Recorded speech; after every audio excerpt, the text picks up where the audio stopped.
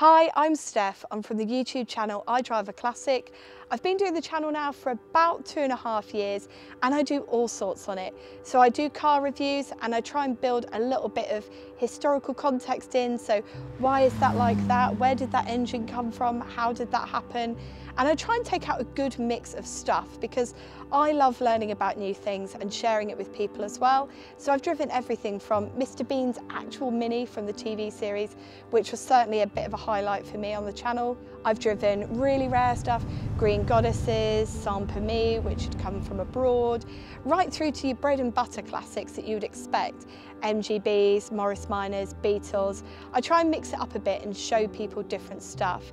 And recently I've become really interested in a lot of pre-war and vintage stuff because I think that it's an area that people don't talk enough about and that we need to start bringing in a bit of awareness because not to be too crude and put too fine a point on it, but the age group that are really interested in that sort of stuff by a majority are a lot older. So where will we be in 30 years if we don't try and build a bit of celebration and appreciation for those cars?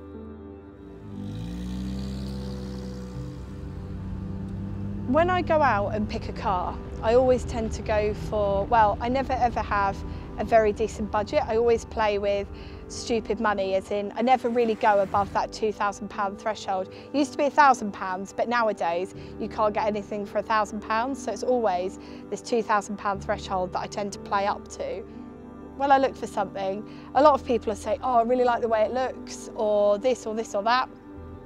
For me nowadays, I look at everything from what's my parts availability like, because for the Metro, it's been quite a miserable experience. I've not been able to get everything as freely as I would have liked to because I've been very spoilt with the Morris Minor. You can get everything, well, pretty much everything and anything you need. And it's not just the parts that I think about either. I also look at things like the owners clubs because when you're stuck and you need to ask for advice, I don't like going straight to a Haynes manual. I like to go and speak to people because it's through experience and trial and error that people can give you the information that you actually need.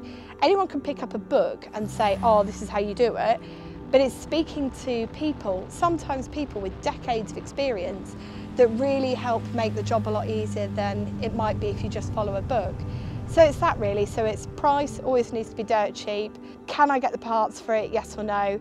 And then the owners clubs as well. And usually I've, if I've bought something, I've driven an example before I've bought one. So I tend to know if I'm gonna like it or not. I don't just go at it blind, not anymore, because that's how disasters happen. Driving a classic car for me is proper driving. You get to experience the car, you really understand the car a lot more. If something goes wrong on a modern car, I lift that bonnet and you're just greeted by these plastic covers, you've got no idea what's going on. Something goes wrong on a, on a classic car, you can hear a noise. I mean, there is always a noise, that is my disclaimer. There is always a noise or something knocking or rattling and it's not great. But you hear something new amongst the medley of noises and you think, oh, it's probably that or it's that or it could be this. And I don't know, I feel I know this car better and all the cars I've got really better than I would ever know a modern car. I wouldn't be able to fix one. I only ever passed my driving test to drive a classic car. I didn't want to drive anything modern. So I couldn't tell you, oh, when I drive my modern car, it's like this. When I drive my classic cars, it's like this. Because for me, the modern car, jokingly, is the Morris Marina, because it's from 1971. I wouldn't I couldn't imagine being shoehorned into something. In terms of the future of classics, I think thinking about things like hydrogen power and electric, I'm seeing a lot of people be quite negative about it, but I'd rather carry on enjoying my car as much as I can. If they said to me, right, tomorrow all petrol and diesel is banned, you cannot use it, all these people that sit at home and moan and say, oh, that's it, I'd give up.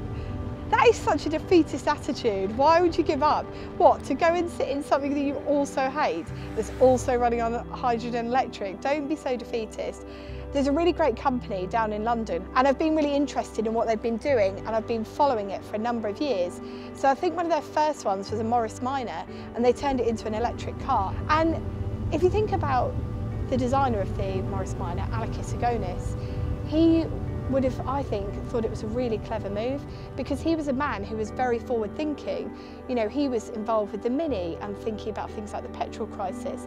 So would Alec Issigonis say, sit at home and moan on your laptop on Facebook groups about having to convert your car over and move with the times? Or would he say, give it a go, see how it goes. There's nothing to say that you can't keep the engine and the petrol tank and all the rest of it and pop it to one side to see if you can use it later on. I would rather enjoy my classics in a compromised way than not at all. And that's kind of my thoughts on it really, which I know some people will be like, that's sacrilege, they should stay as they are. But if you think about it, we've moved with the times. People have swapped over from dynamos to alternators, points onto electronic ignition throughout time, there must have been people that said, oh, you know, well, there are still people that say, oh, I won't run my car on anything but points. If you want to keep enjoying your car, there will always be a few compromises and things that you should consider to carry on enjoying the car. I'd rather enjoy it a little bit than not at all.